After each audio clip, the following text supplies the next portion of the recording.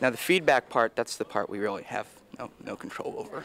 Uh, and that uh, sometimes it's good and sometimes it's bad and, and sometimes it's bad and sometimes it's bad.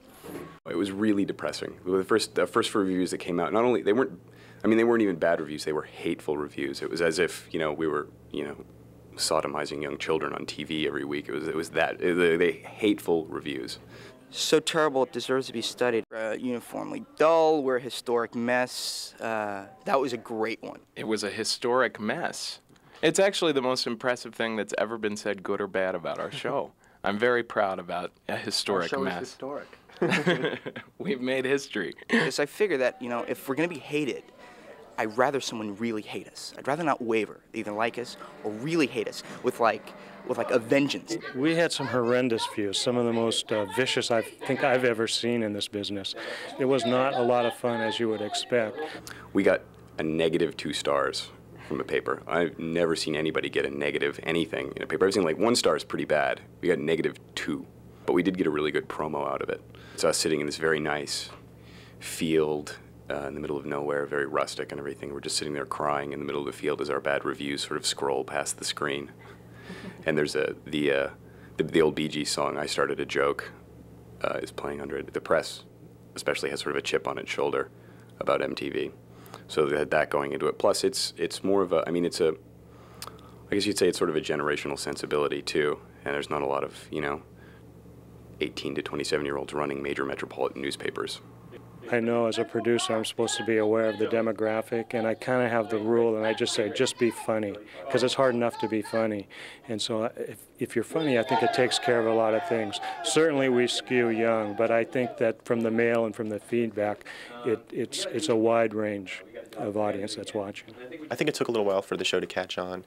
It's the kind of show that I think people watch a few times and then they start to really warm up to it and groove to it, whereas sometimes the initial reactions were like, "What's this all about?" Right. The shows went out there and people started seeing them, and I think I think what happened is people sampled the show. They saw the show more than once and twice, and they plugged into the sensibility and what was going on, and they would be able to relate to the different cast members as individuals. And it takes time. Obviously, a lot of the initial comparisons were to like Soul Train and uh, Welcome Back, Kotter, and that sort of thing. But I think I think City Blues. mostly Jersey Jersey City Blues, and but uh, a lot of their favorite characters are uh, anything. Well, pretty much anything I'm in, uh, and that's understandable. Uh, uh, Anything I'm not in, right. Which is also Right. which is that's that's probably more understandable. The you know m- most everyone else in, in the papers don't, aren't crazy about us, but but we we don't care. We hate them all. We hate them all. Watch your back, pal. One of the things that we got some flack in the press for was that we only had the one woman in the group. I don't want to say dressing up in drag is a is a fun thing to do, but it is. It is, and if you have the chance, do it.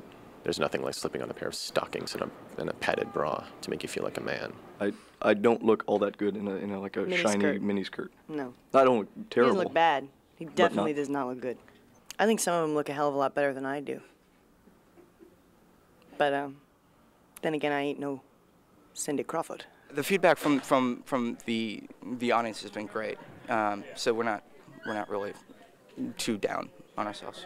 Well, after a week of crying, we pretty much just got it together and, and just moved on. It's their sensibility that's out there, and, and the shows are really an extension of, of them, and, and that is different than anything that's on television. We, I mean, we felt we always felt the shows were funny, and people that we know uh, felt the shows were funny. People who you know had known us since our college days all really liked the shows and said that it really retained the original spirit of the group from when we were on stage. And that it really had a lot of you know it was very fun and spontaneous and all that kind of stuff. So we felt pretty good about it. and We really felt like we accomplished uh, what we set out to do. So I think it's just going to be. I mean, maybe the papers will never love us, but then they they don't sign the checks, so that's all right.